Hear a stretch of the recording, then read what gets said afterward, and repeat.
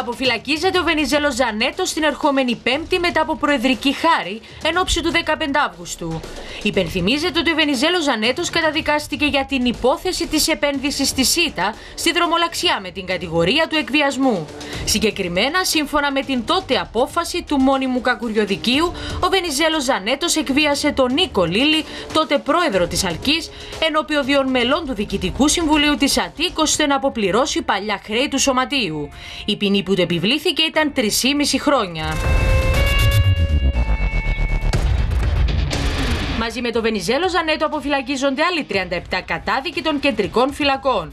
Σημειώνεται ότι και οι 38 μέχρι τις 15 Αυγούστου θα έχουν εκτίσει τουλάχιστον το μισό της ποινής τους, ενώ οι αποφυλακισθέντες θα βρίσκονται ελεύθεροι με αναστολή τριών χρόνων.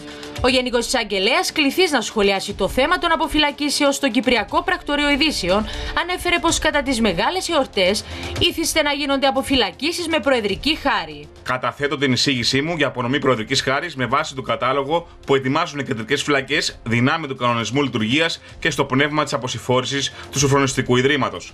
Οι αποφυλακίσει με προεδρική χάρη για την εορτή του 15 Αύγουστου εντάσσονται στο πλαίσιο των κανονισμών λειτουργίας των φυλακών και των ακολουθούμενων διαδικασιών και ουδέμια σχέση έχουν με ονόματα και επώνυμα. Σημειώνεται ότι η προεδρική χάρη δεν δίνεται σε άτομα που καταδικάστηκαν για εμπορία ναρκωτικών, φόνο, ανθρωποκτονία ή για σεξουαλικά εγκλήματα.